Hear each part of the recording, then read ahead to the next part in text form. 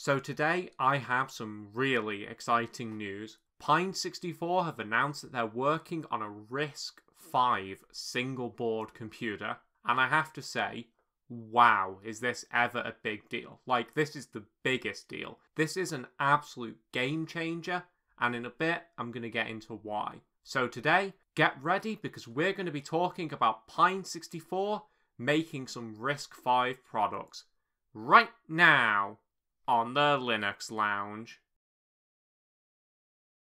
So first, let's explain what RISC-V is for people who don't know. Essentially, RISC-V is an open CPU instruction set that lets manufacturers design their own CPUs without paying any sort of fees.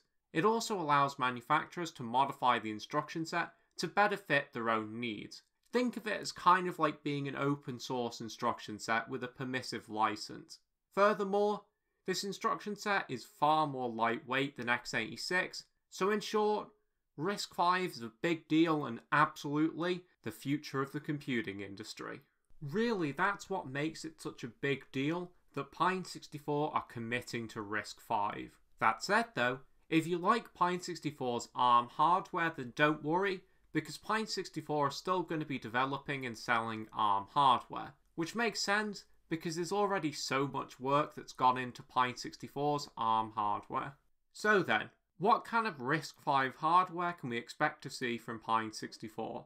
Well, so far, all they've announced is a RISC-V single board computer that'll be similar to their existing Quartz 64 single board computer, which sounds pretty neat to me. The computer will come with either 4 or 8 gigabytes of RAM and an integrated GPU that should use open source drivers by the time that the machine is released. So, all in all, this definitely should be a great entry point for people to start messing around with RISC-V.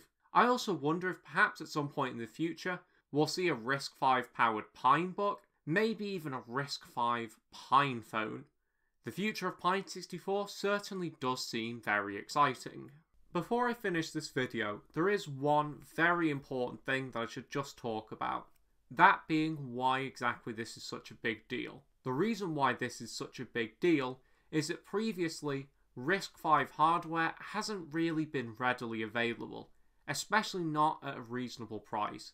Pine64 really are the first company to do what they're doing. What Pine64 are developing here is a cheap and easy way into RISC-V that can enable developers to work with RISC-V and it can enable end users to begin using RISC-V, which as far as I'm concerned is a huge deal. So all in all, I really can't begin to tell you just how hyped I am for this. I can't wait to get a hold of one of those single board machines as RISC-V is something that I've wanted to experiment with for quite a while now. And I even more can't wait to get my hands on a RISC-V powered Pinebook. Imagine how cool that's going to be.